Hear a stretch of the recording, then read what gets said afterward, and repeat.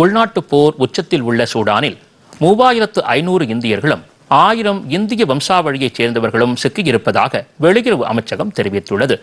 இது தொடர்பாக புதுதில்லியில் செய்தியாளர்களிடம் பேசிய வெளியுறவுத்துறை செயலாளர் வினய் மோகன் குவாத்ரா சூடானில் தங்கியுள்ள இந்தியர்களின் பாதுகாப்பு குறித்து தொடர்ந்து தூதரகத்தின் வாயிலாக கண்காணிப்புகள் மேற்கொள்ளப்பட்டு வருவதாக குறிப்பிட்டார். தாயகம் திரும்புவதற்கு ஆன்லைன் மூலமாக விண்ணப்பிப்பதற்கான வசதி ஏற்படுத்தப்பட்டுள்ளதாகவும் மூவாயிரத்து ஐநூறு பேர் அதில் பதிவு செய்துள்ளதாகவும் அவர்களில் முன்னூறு பேர் தொடர்ந்து தூதரகத்துடன் தொடர்பில் உள்ளதாகவும் அவர் கூறினார் estimate is that approximately there are 3,500 uh, Indian nationals and about 1,000 odd uh, PIOs in Sudan.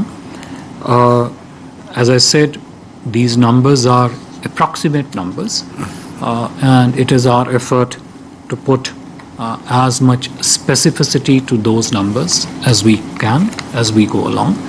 Uh, and uh, some of these numbers uh, keep fluctuating uh, depending, or rather, keep getting added depending upon who reaches out to the embassy, uh, considering that they are all scattered, not just all over Khartoum city, but also in many parts of Sudan. இதனிடையே சூடானில் சிக்கியுள்ள இந்தியர்களை மீட்பதற்காக INS டார்கேஷ் என்ற போர்க்கப்பல் மூன்றாவது முறையாக அனுப்பி வைக்கப்பட்டுள்ளதாக அவர் கூறினார். ஆபரேஷன் காவிரி நடவடிக்கையின் மூலம் சூடானிலிருந்து சவுதி அரேபியாவின் ஜெட்டா துறைமுகம் வந்து அங்கிருந்து தாயகம் திரும்புவதற்கான அனைத்து நடவடிக்கைகளையும் வெளியுறவுத்துறை அமைச்சகம் ஏற்பாடு செய்துள்ளது. இதற்கிடையே சூடான் நாட்டிலிருந்து மீட்கப்பட்டு புதுதில்லி வந்தடைந்த இந்தியர்களில் தமிழகத்தைச் சேர்ந்த ஒன்பது பேர் சொந்த ஊர் திரும்பினர். சென்னைக்கு ஐந்து பேரும் மதுரைக்கு நான்கு பேரும் வந்தடைந்தனர். சென்னை விமான நிலையம் வந்தடைந்த ராஜசேகர் தியா சோஃபியா சந்தோஷ்குமார் கிருத்திகா ஆகிய ஐந்து பேரையும் வருவாய்த்துறை அதிகாரிகள் வரவேற்று அவர்களது வீடுகளுக்கு அனுப்பி வைத்தனர். அப்போது சூடானில் இருந்து மீட்டு வர உதவியாக இருந்த இந்திய தூதரகத்திற்கும் மத்திய அரசுக்கும் தமிழ்நாடு அரசுக்கும் நன்றிகளை தெரிவித்துக் கொள்வதாக அவர்கள் கூறினர். பயப்படாதீங்க சொல்லி கவ இங்கே இருக்க கவர்மெண்ட் கூட பேசி அரேஞ்ச் பண்ணி பஸ்ஸஸ் ரெடி பண்ணாங்க. பஸ்ஸஸில் நாங்கள் ஏறி இங்கே போர்ட்ஸ்ரான் வந்து நியரஸ்ட் ஏர்போர்ட் அங்கே போய் அங்கே ஒரு நாள் நாங்கள் இருந்து இந்த த்ரூ அவுட் ஜேர்னி எங்களுக்கு ப்ராப்பர் தண்ணி கிடையாது ப்ராப்பர் ஃபுட் கிடையாது. டுவெண்ட்டி சிக்ஸ் ஹவர்ஸ் நாங்கள் பஸ்ஸில் போக வேண்டியதாக இருந்துச்சு. அங்கே நாங்கள் போர்ட்ஸ்ரான் லேண்ட் லேண்ட் ஆன பிறகு தான் எங்களுக்கு சேஃபான ஒரு ஃபீல் வந்துச்சு. இந்தியன் கவர்மெண்ட்டும் தமிழ் கவர்மெண்ட்டும் எங்களுக்கு ஸ்டே பண்ண இடம் கொடுத்தாங்க. அங்கேருந்து டெல்லி வந்தோடனே தமிழ் கவர்மெண்ட் எங்களுக்கு ஹெல்ப் பண்ணி அங்கேருந்து சென்னைக்கு ஃப்ளைட்ஸ் புக் பண்ணாங்க. எங்களுக்கு நைட் அகாமடேஷன் இடம் தந்தாங்க.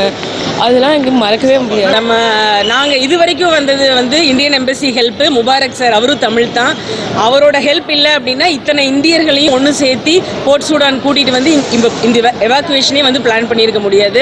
நான் என்னோட கணவரோட அங்கே வாழ்ந்துட்டு வந்தேன் இந்தியன் எம்பசி அவங்களும் ரொம்ப டேஞ்சரஸான சுச்சுவேஷனில் இருக்கும்போது அவங்க எங்களெல்லாம் காண்டாக்ட் பண்ணாங்க. நான் ப்ரெக்னெண்ட்டாக இருக்கேன். இத்தனை டைமில் தனியாக மாட்டிக்கிட்டேன். சாப்பாடு இல்லை தண்ணி இல்லை கரண்ட் இல்லை. என்ன பண்ணுறதுன்னு புரியல. ஏதோ சாப்பாடு ஊருக்கா சாப்பாடு தயிர் நாங்கள் அப்படி மேனேஜ் பண்ணிகிட்டு இருந்தோம் கொஞ்ச நாள். அதுக்கப்புறம் இந்தியன் எம்பசி அட்வைஸ் பண்ணி நீங்கள் வந்து அவுட்ஸ் அவுட்ஸ்கர்ட்ஸ் போயிடுங்க. அது உங்களுக்கு சேஃபாக இருக்கும் அப்படின்னு சொல்லி அங்கே அனுப்பிச்சு அங்கேருந்து போர்ட் சுடான் வந்து தியா சொன்ன மாதிரி நாங்கள் பத்திரமா இன்றைக்கி இங்கே இருக்கோம். இதேபோல் ஆபரேஷன் காவேரி நடவடிக்கையின் மூலம் மதுரைக்கு வந்து ஒரே குடும்பத்தைச் சேர்ந்த நான்கு பேரும் தங்களது நன்றியை தெரிவித்துக் கொண்டனர். பத்திரிகை மூலமாக வந்து வெளி உலகத்துக்கு இங்கே என்ன நடக்கு அப்படிங்கிறத தெரிவித்தோம் உடனே இந்த தகவல் வந்து இந்திய அரசுக்கும் தமிழக அரசுக்கும் உடனே போய் சேர்ந்து நடவடிக்கை எடுத்தாங்க. மிகவும் உன்னிப்பாக கவனித்து பத்திரிகை மூலமாகவோ வாட்ஸ்அப் மூலமாகவோ எங்களை உடனே தொடர்பு கொண்டாங்க. எங்கே இருக்கோம் என்ன நிலையில் இருக்கோம் அப்படிங்கிறத தினமும் வந்து அவ அப்டேட் பண்ணிக்கிட்டாங்க. எங்களோடு சேர்ந்து ப- கடுமையான பாதிப்புக்குள்ளான மூவாயிரத்துக்கு அதிகமான இந்தியர்களுக்கு வந்து இந்திய அரசு இந்திய தூதரகம் மூலமாக அவ்வப்போது என்ன நடக்கு எங்கே இருக்கீங்க அப்படிங்கிற தகவலை வந்து எங்களுக்கு கொடுத்துட்டே இருந்தாங்க.